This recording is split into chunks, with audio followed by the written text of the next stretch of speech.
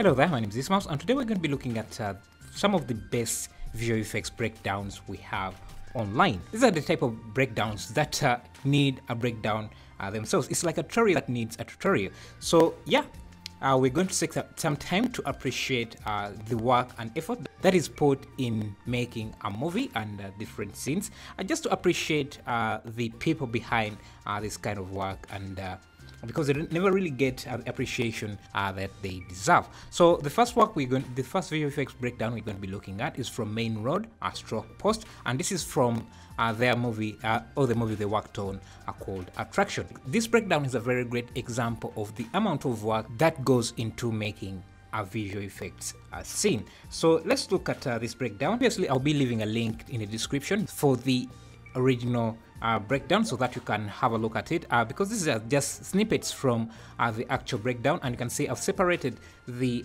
original uh, the final shot from the original breakdown uh, from the breakdown itself here. Uh, so we're going to just talk about the things going on in this scene. So right away you can see how packed this scene is and you can see we start with uh, uh, a procedure generation of the city. And uh, procedure that usually means just creating things uh, using algorithms uh, to create uh, to populate uh, an environment as in case of this city to populate this city uh, with buildings. But uh, it doesn't really mean that you're not doing a lot of work. It means that uh, most of the work you would have done or uh, most of the work that would have been impossible to do are you doing it using procedural systems uh, that can speed up your workflow and also make things make it easier to change uh, things but you always have to start with a base model so for example if you're creating these buildings you can see we have varied variations of different buildings. Say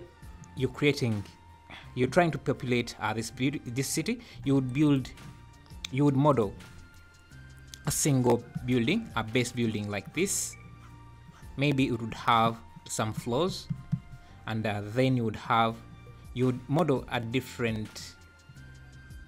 You would model a roof on its own, just the roof, and then you would model the base floor or ground floor separate and you would make variations of these the roof uh, the the basement floor or the ground floor and there may be some of the these stories. You would have some variations and then you would model uh, other th stuff things that go onto the building like outside air conditioners are these air conditioners and then maybe pipes and things like that separately. And uh, then you would use your procedure generating system to kind of generate uh, different variations of a building uh, but so you would have say like six buildings using uh, the the floor you used uh, this floor so you would have say 10 this would have you would be a 10 story building and this would be maybe a 20 and uh, remember you also have other variations of roof designs. So you'd have maybe 10 variations of uh, the same roof. Uh, so this building would have a different roof. Uh, this would have a different roof. And if you have other, it also generate like more 20 other buildings with variations of these roofs and uh, uh, variations of uh, the different ground floors you designed. So this would have design one, this would have design two, this would have design three, and variations of your your AC air conditioner on and then pipes things like that so you just tell uh, the procedure generator where these things go. Uh, so most of the work that's how you get you, po you, populate a building like this and generate different variations of this. Uh, this breakdown has a part uh, where they show you how they procedurally generated those buildings i'm not including that in this uh, uh, video.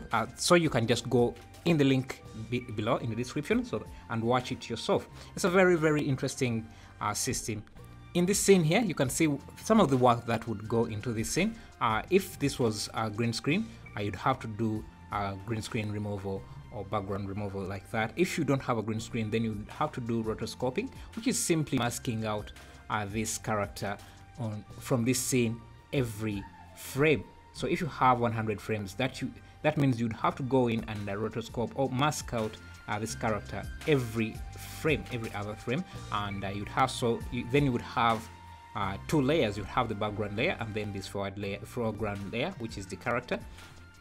And maybe do some matte painting uh, to add to fill in the parts where you have removed this character from the background. And uh, then you add in your assets.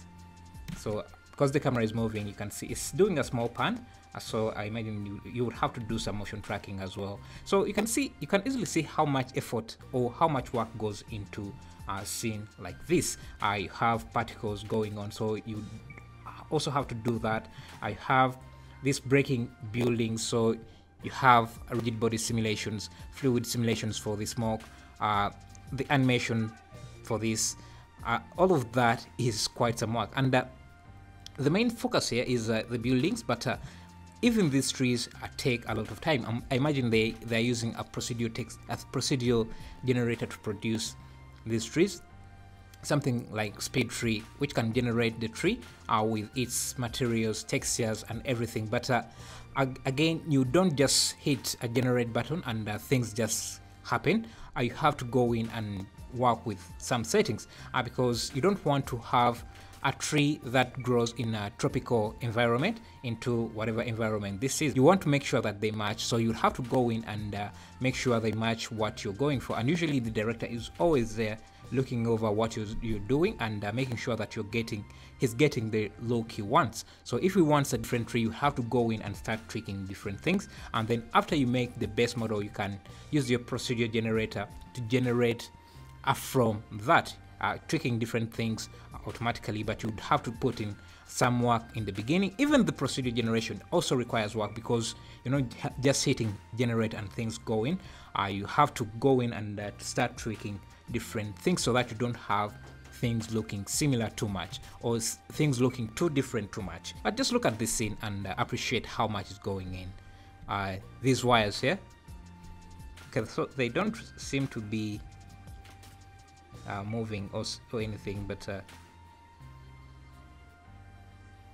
yeah I don't think they they are wiggling to show the effect but uh, yeah that's detail uh, maybe they missed but uh, you can see how packed uh, this is. I sell 3D models for a living and I, I understand how much effort goes into just modeling one single asset. Uh, so and there it's not just one asset here it's a lot of assets. I would say in other scenes we have these light poles wires tables sorry street seats I have some cars going on here.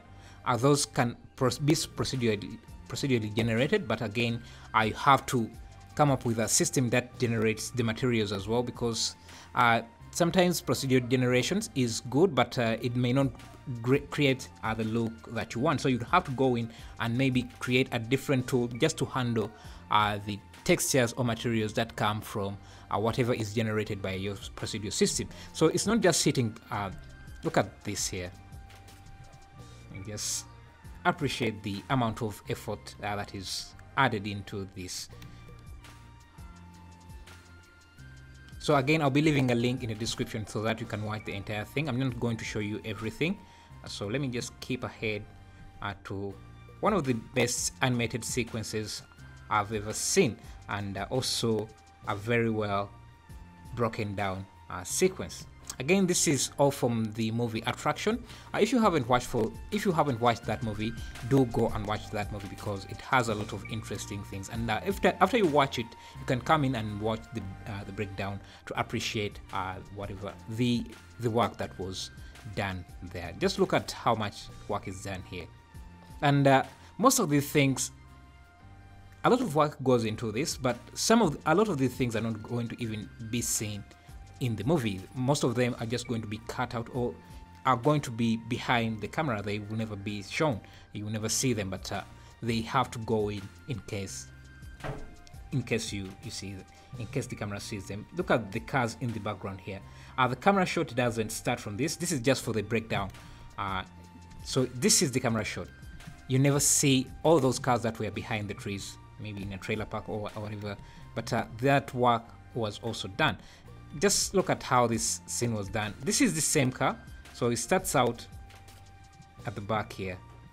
the scene starts out at the back here. And this was the car I was talking about. The entire city was almost built uh, for this scene here, and uh, most of these were no things in the background here were not captured by the camera. So, but that work had to be done. Yeah, so you can see a lot of rigid body simulations going on here. Maybe even some soft body uh, simulation. So we're looking at the same car here, and then the camera speeds up. The time is stopped for a second, then the camera moves forward. It's still the same car, the camera is just moving forward in time and then going to the next frame. It's just amazing. I wish this was part of the movie. Uh, it wasn't, uh, the scene was part of the movie, but how this scene was broken down, I think is also very, very interesting and I, I wish it was part of uh, the movie. I, I won't just show you. I won't show you the, the entire scene. You can just go to uh, to the CG Meetup channel and watch uh, the the entire a sequence uh, there. Uh, so let me just move forward uh, into a different uh, breakdown. Again, this is also from Main Post. Uh, they have the best uh, VFX breakdowns I've ever seen. this was for the movie Star Stalingrad.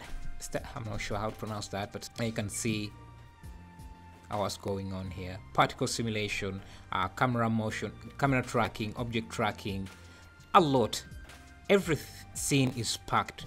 Just look at this. Uh, I imagine some of these might be hand animated or uh, using, or some of them can be used, can be animated using crowd uh, simulations, uh, simulation system like Massive uh, Crowd Simulator, or there are a lot of crowd simulators out there. Uh, but yeah, so just look at this. I can't even imagine how movies are made in just three years. It's, it, it seems like a very little time for the amount of work that has to be done for each movie. Just look at this scene. Uh, so time for setting up this set uh, because you can see this is the original plate. Uh, you, you can see these buildings. Uh, they just built uh, the front facing side. You don't you see there is nothing behind here and they use camera mapping to kind of create some perspective there uh, maybe adding some uh, perspective and uh, depth to the scene. you can see they've also added, built, added some elements to this so that it's just not one single face facing you. there is a lot of motion tracking going on object tracking it's a lot going on here and uh, unfortunately it doesn't always go noticed uh, to a lot of the viewers. Uh, it's only people who are in the, the, industry, the visual effects industry, that can appreciate uh, this to uh, the amount it should be appreciated. Just look at uh, this, the, the cinematography, everything going on here is just amazing. Again, you can go in, uh, you can go to the links I'll be leaving in the description uh, to look at uh, the different scenes. Now, this is just showing off. I, I, I have to say, this is just showing off. And the amount of money that would have to be packed here, I can't fathom. Um, I mean, if you're paying each character, each person that is going into this movie, into this scene, I don't know how you you would be breaking your bank. Just, and I imagine they did pay everyone. So you're doing uh, background removal, you're doing uh, fluid you're doing smoke simulation uh, which is usually the same as uh, fluid simulations. You're doing particle uh, simulation compositing. And uh, I think there is also object tracking in some areas. So in scenes where you see people being burnt on fire I can see the, the original play doesn't have a people on fire. So you'd have to do object tracking and this is not object tracking that you see uh, people do in Blender, uh, where you just have one hand and uh, a few markers uh, to track that hand. The, the, hand is usually non-deforming in uh, the tutorials or videos you see for Blender. Uh, so, but here, if I can find a scene, you can see the layers that are being added there. If I can find, now look at this here. Let's go back a few seconds.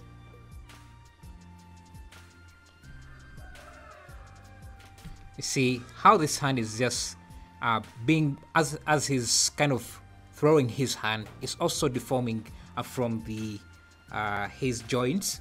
So that has to be tracked in uh, the hand deforming. Uh, you have to track that.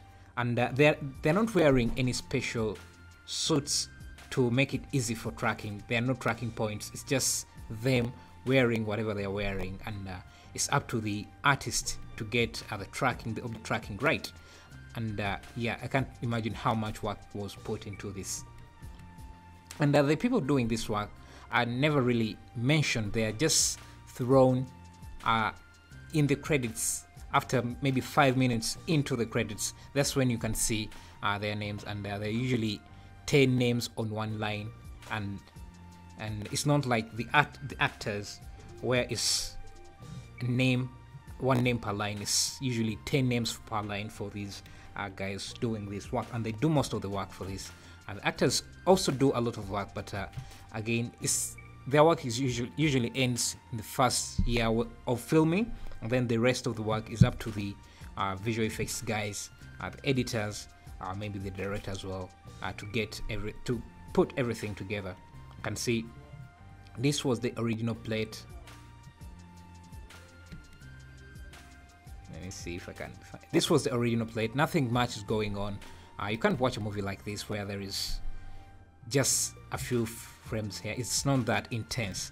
Now you add in this more more fire here more frames more flames and now you can see how interesting it gets. Uh, so it, a lot of work is going on here uh, that is not appreciated so as people in the industry i think we should always take the time uh, to appreciate it that's why i appreciate the movie the uh, the videos made by Corridor Digital talking about the things, showing uh, people out there how much work goes into uh, the things, uh, the, the, the movies uh, they watch. You can see we have some object tracking. You see how this these frames are deforming on this person's leg. He was not where he was not being he was not lit on fire during the shoot.